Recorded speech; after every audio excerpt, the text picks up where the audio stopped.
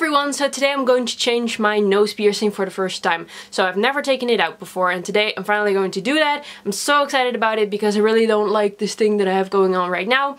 Uh, but yeah, the piercer actually said that I could already change it after like 6 to 8 weeks, but a lot of people said they would get piercing bumps when they do that, so I didn't want to risk it and just waited for months. But today I'm finally going to change it. I'm going to change this to this little hoop right here. I just got this from a piercing shop and the piercer said that it should fit, so yeah, we're going to try it out today. So I already cleaned everything. I cleaned my hands, cleaned the piercing area, and cleaned the other piercing. So now I'm just going to put my finger in my nose. I know very attractive and try to get this ball loose.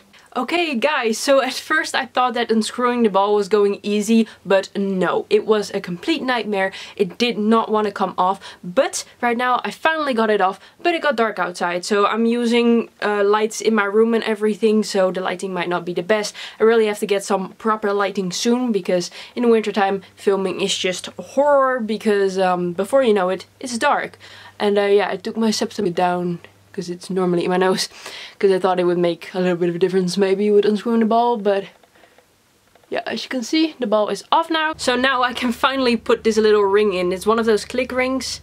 So I opened it right now. It's really hard to show you because it's so small but uh and it's also shiny.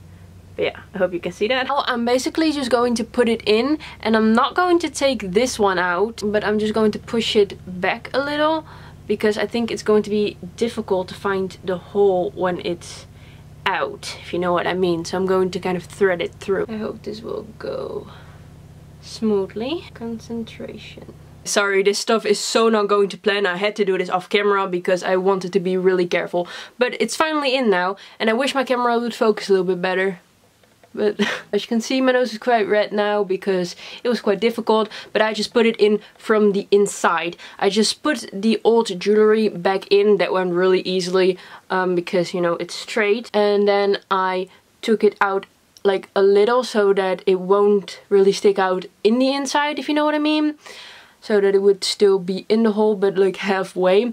And then I put the um, nose ring in from the inside and then slowly pushed it and then this fell out and then it was finally in.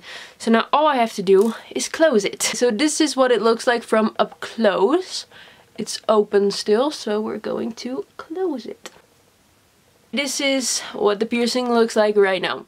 I don't know, I feel like it's a little bit too big. The piercing lady said that this would be my size, but um, clearly it isn't really. I mean, it sticks out a little bit too much, but yeah, I guess it's okay. I'm just gonna leave it in right now because this took me way too much time to put in and everything like that. So yeah.